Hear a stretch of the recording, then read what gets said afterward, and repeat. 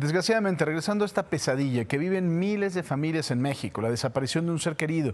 Este martes en Chilpancingo, en Guerrero, se llevó a cabo una marcha para exigir a las autoridades del Estado la aparición con vida de la joven Celsin Osiris, quien desapareció hace seis días aquí en la Ciudad de México.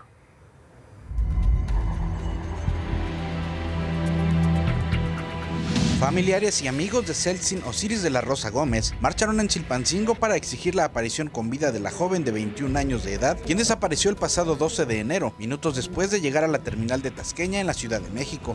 Todo este tiempo que estuvo la pandemia, ella estuvo aquí viviendo, estudiando en línea prácticamente.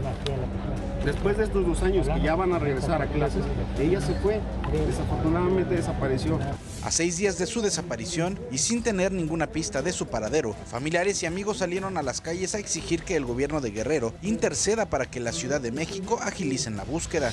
Celsin llegó a mediodía a la terminal de Tasqueña, desde donde pidió un Uber para trasladarse a su destino y minutos después desapareció. Su teléfono dejó de estar activo. Ella a las 12.49 me escribe ya pedí el Uber y me notificó que ya viene en camino, lo estoy esperando.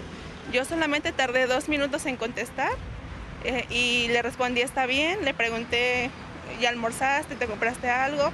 Ya no, ya no recibieron los mensajes, ya, los mensajes ya no le llegaron. La familia ya presentó la denuncia ante la Fiscalía de Justicia de la Ciudad de México, pero a seis días no han tenido ningún avance. Ni siquiera han accesado a las cámaras de seguridad en las inmediaciones de la terminal para tratar de ubicar a la mujer desaparecida.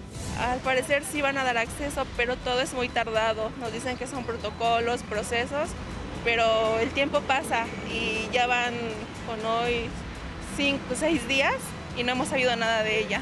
Funcionarios del gobierno de Guerrero se comprometieron a intervenir ante la Fiscalía Local para que sea el conducto que busque coordinación con la Fiscalía Capitalina y localicen a la joven. Para imagen, Ángel Galeana,